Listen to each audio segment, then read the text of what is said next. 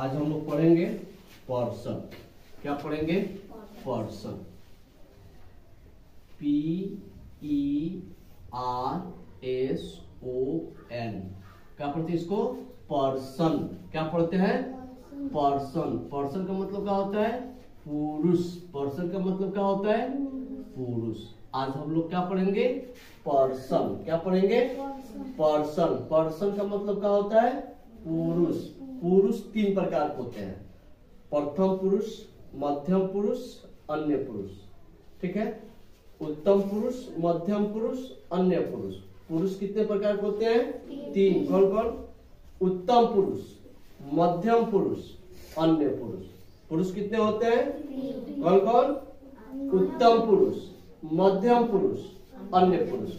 लिखेंगे there are there are three three kinds three kinds of person there are three kinds of person इसका मतलब क्या हुआ? पुरुष तीन प्रकार के होते हैं। नंबर एक पे first person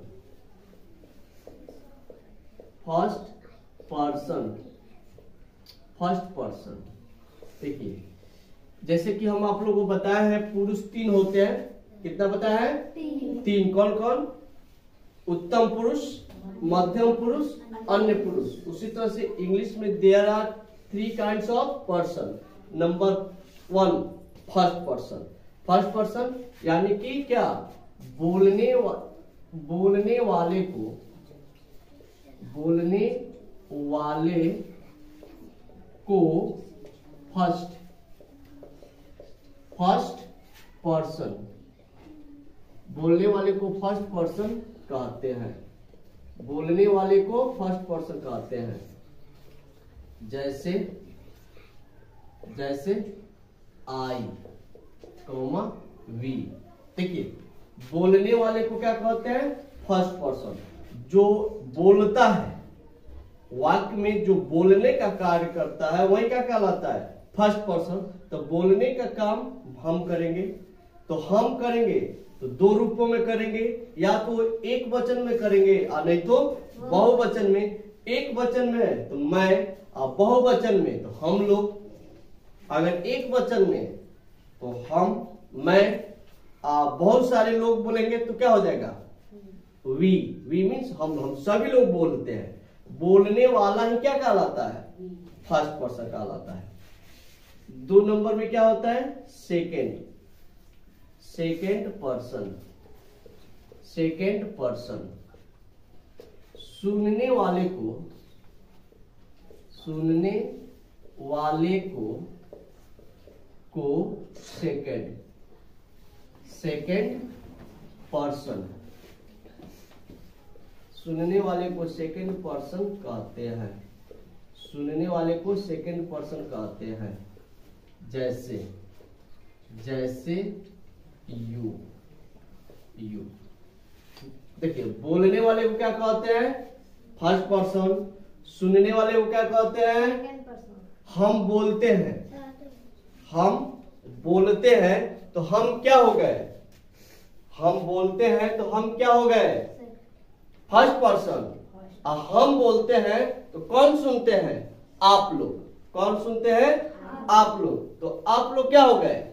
सेकेंड पर्सन क्या बोल लिख रहे हैं? सुनने वाले को सेकेंड पर्सन कहते हैं। हम जो बोलते हैं, बोलने वाला फ़र्स्ट पर्सन सुनने वाला सेकेंड पर्सन बोलने वाला फ़र्स्ट पर्सन सुनने वाला सेकेंड पर्सन तीसरा है क्या? थर्ड नंबर में है third person third person third person जिसके बारे में कहा जाए। जिसके बारे में कहा जाए, जिसके बारे में में कहा जाए, जिसके बारे में कहा जाए, उसे थर्ड पर्सन कहते हैं। उसे थर्ड पर्सन उसे थर्ड पर्सन कहते हैं। उसे थर्ड पर्सन कहते हैं। जैसे, अब हम किसके किसके बारे में कहेंगे? या तो हम ही के बारे में कहेंगे, नहीं तो सी के बारे में कहेंगे, नहीं तो ई के बारे में कहेंगे, नहीं तो वे लोग के बारे में कहेंगे। नहीं ईटीसी कर देते हैं। ईटीसी देखिए, हम जैसे ही, सी, इट, दे, ता, ये सब क्या है?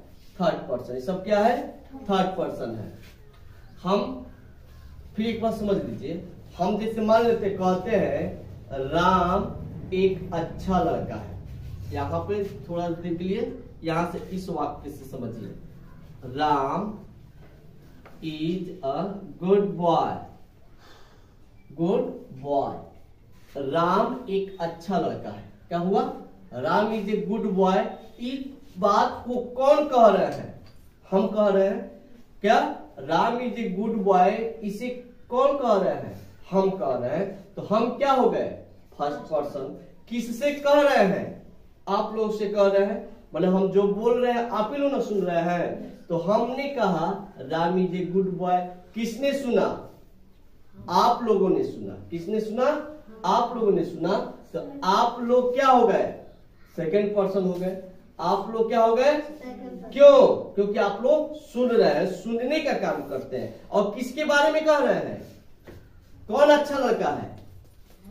राम। तो राम के बारे में रहे हैं? तो यहाँ पे राम क्या हो जाएगा? थर्ड पर्सन राम क्या हो जाएगा?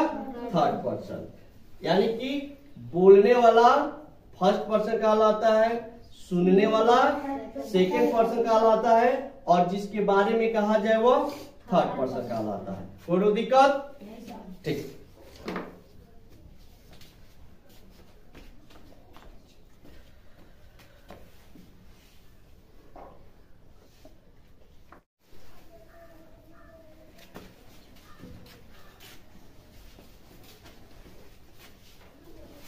आज हम लोग पढ़ेंगे पर्सन। क्या पढ़ेंगे? Person. P E R S O N क्या पढ़ते इसको? पर्सन। क्या पढ़ते हैं? पर्सन। पर्सन। का मतलब क्या होता है? पुरुष। पर्सन का मतलब क्या होता है? पुरुष। आज हम लोग क्या पढ़ेंगे? पर्सन। क्या पढ़ेंगे? पर्सन। पर्सन का मतलब क्या होता है? पुरुष। पुरुष तीन प्रकार के होते हैं। प्रथम पुरुष मध्यम पुरुष अन्य पुरुष। ठीक है? उत्तम पुरुष मध्यम पुरुष अन्य पुरुष। पुरुष कितने प्रकार के होते हैं? तीन। कौन कौन? उत्तम पुरुष मध्यम पुरुष अन्य पुरुष। पुरुष कितने होते हैं? कौन कौन? उत्तम पुरुष मध्यम पुरुष अन्य पुरुष। लिखेंगे there are there are three three kinds three kinds of person there are three kind of person इसका मतलब क्या हुआ? पुरुष तीन प्रकार के होते हैं। नंबर एक पे first person first person first person देखिए, जैसे कि हम आप लोगों को बताया है, पुरुष तीन होते हैं। कितना बताया है? तीन। कौन कौन? उत्तम पुरुष मध्यम पुरुष अन्य पुरुष। उसी तरह से इंग्लिश में there are three kind of person number one first person first person यानी कि क्या? बोलने वा, बोलने वाले को बोलने वाले को फ़र्स्ट फ़र्स्ट पर्सन बोलने वाले को फ़र्स्ट पर्सन कहते हैं। बोलने वाले को फ़र्स्ट पर्सन कहते हैं। जैसे जैसे आई कौमा वी देखिए, बोलने वाले को क्या कहते हैं? फ़र्स्ट पर्सन जो बोलता है वाक्य में जो बोलने का कार्य करता है, वही क्या कहलाता है? फ़र्स्ट पर्सन तो बोलने का काम हम करेंगे। तो हम करेंगे तो दो रूपों में करेंगे या तो एक वचन में करेंगे और नहीं तो बहुवचन में। एक वचन में तो मैं और बहुवचन में तो हम लोग। अगर एक वचन में तो हम मैं आ, बहुत सारे लोग बोलेंगे तो क्या हो जाएगा? वी। वी मीन्स हम हम सभी लोग बोलते हैं। बोलने वाला ही क्या कहलाता है? फ़र्स्ट पर्सन कहलाता है।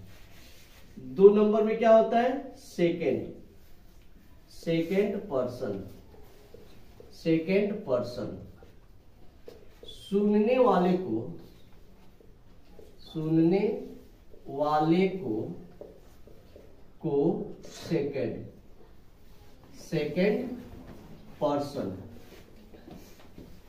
सुनने वाले को सेकेंड पर्सन कहते हैं। सुनने वाले को सेकेंड पर्सन कहते हैं। जैसे जैसे यू यू देखिए बोलने वाले को क्या कहते हैं? फ़र्स्ट पर्सन सुनने वाले को क्या कहते हैं? हम बोलते हैं। हम बोलते हैं तो हम क्या हो गए? हम बोलते हैं तो हम क्या हो गए? फ़र्स्ट पर्सन और हम बोलते हैं तो कौन सुनते हैं? आप लोग। कौन सुनते हैं? आप। लोग। तो आप लोग क्या हो गए? सेकेंड पर्सन क्या बोल लिख हैं? सुनने वाले को सेकेंड पर्सन कहते हैं। हम जो बोलते हैं, बोलने वाला फ़र्स्ट पर्सन सुनने वाला सेकेंड पर्सन बोलने वाला फ़र्स्ट पर्सन सुनने वाला सेकेंड पर्सन तीसरा है क्या? थर्ड नंबर में है third person third person third person जिसके बारे में कहा जाए। जिसके बारे में कहा जाए, जिसके बारे में में कहा जाए, जिसके बारे में कहा जाए, उसे थर्ड पर्सन कहते हैं।